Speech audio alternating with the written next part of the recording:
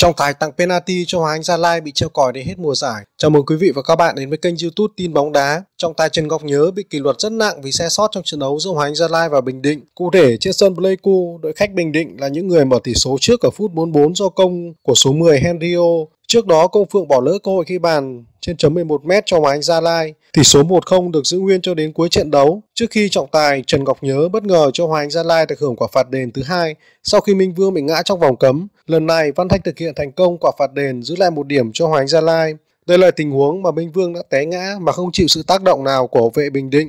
Quyết định của trọng tài khiến các cầu thủ Bình Định bức xúc. Sau trận đấu, huấn luyện viên Nguyễn Đức Thắng của Bình Định đã vào sân truy hỏi trọng tài và phải nhận một thẻ đỏ trực tiếp. Có thể hiểu sự bức xúc của huấn luyện viên Đức Thắng trong bối cảnh kết quả trận đấu này có thể ảnh hưởng trực tiếp đến cuộc đua vô địch của Topelem Bình Định. Mới đây, trưởng ban trọng tài Liên đoàn bóng đá Việt Nam ông Dương Văn Hiền đã khẳng định trọng tài Trần Ngọc Nhớ mắc sai lầm nghiêm trọng. Ông Dương Ngọc Hiền nói, trọng tài thổi phạt đền là sai. Cầu thủ Bình Định có ra chân truy cản nhưng không trúng người Minh Vương.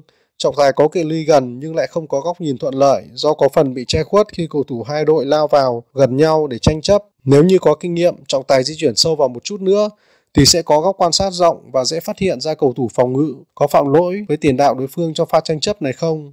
Với sai sót nghiêm trọng, ông Trần Ngọc Nhớ đã bị cấm không được làm nhiệm vụ đến hết V-League 2022 trong bối cảnh giải đấu chỉ còn bón vòng đấu nữa. Được biết, trọng tài Trần Ngọc Nhớ là trọng tài bắt ở giải hạng nhì nhưng được đôn lên V-League vì thiếu trọng tài. Như vậy, có thể nói, nguyên nhân sâu xa dẫn đến sai lầm của trọng tài Trần Ngọc Nhớ là việc ban trọng tài Liên đoàn bóng đá Việt Nam điều một trọng tài có trình độ thấp bắt ở dạng nhì lên bắt ở V-League. Chính vì thế, sai sót của Trần Ngọc Nhớ là hoàn toàn dễ hiểu bởi trình độ của ông không đủ để đáp ứng ở V-League.